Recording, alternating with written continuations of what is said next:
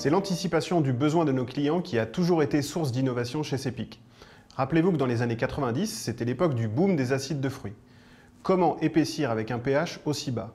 Le lancement du Cepigel 305 a permis de répondre à cette demande spécifique tout en sublimant les formules avec un toucher très agréable.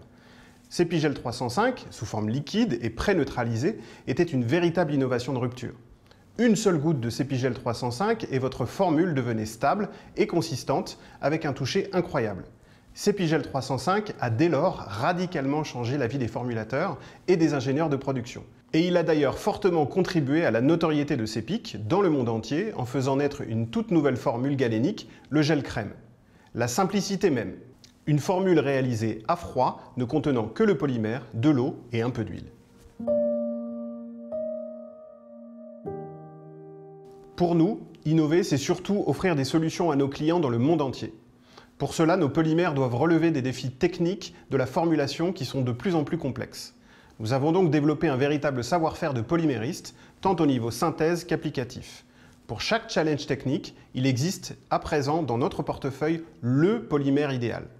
Un autre point clé pour innover est de contribuer à créer des textures toujours plus séduisantes et attractives pour le consommateur final. Notre objectif est donc d'offrir une palette de polymères riche en nuances sensorielles. C'est l'incontournable facteur de succès des cosmétiques d'aujourd'hui et de demain. Aujourd'hui, notre ambition est de continuer à s'orienter vers une innovation responsable. Les consommateurs et donc nos clients recherchent des ingrédients toujours plus performants, sûrs, mais surtout respectueux de l'environnement. Nos axes de travail visent donc à augmenter le contenu biosourcé de nos polymères. Pratiquement, nous cherchons à concevoir de nouveaux polymères, soit par polymérisation de syntons biosourcés, ou à partir de polymères trouvés dans la nature, ou encore en imaginant des biopolymères innovants, issus par exemple de procédés de biotechnologie.